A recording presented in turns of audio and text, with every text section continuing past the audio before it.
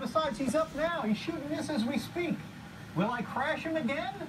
You better stay tuned and find out. Oh, dear. Oh, shit.